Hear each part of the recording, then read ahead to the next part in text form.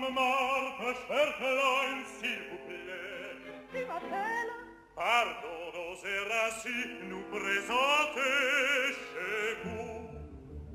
Vous voyez qu'elle a fait bon accueil aux bijoux. Dame Marthe, cherche-la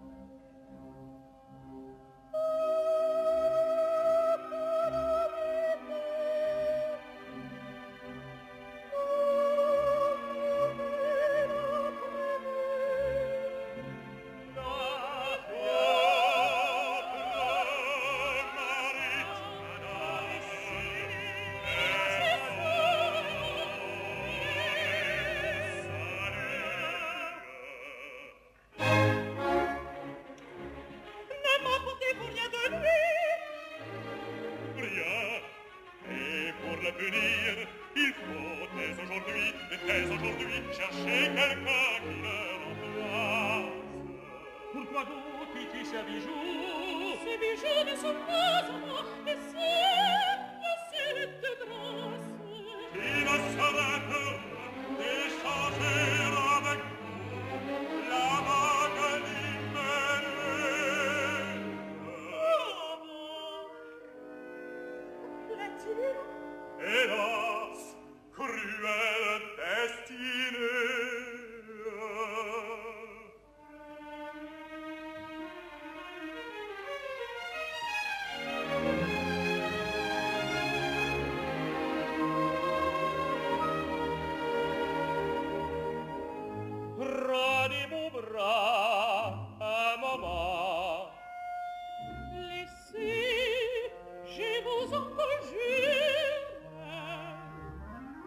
votre bras.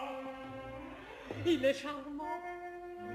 La voisine est un peu mûre, la voisine est un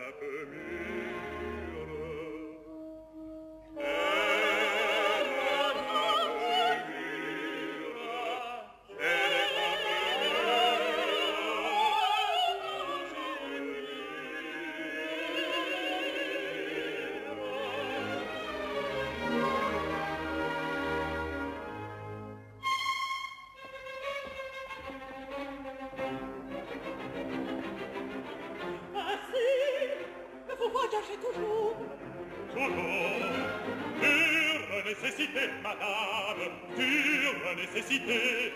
Sans amis, sans parents Sans femme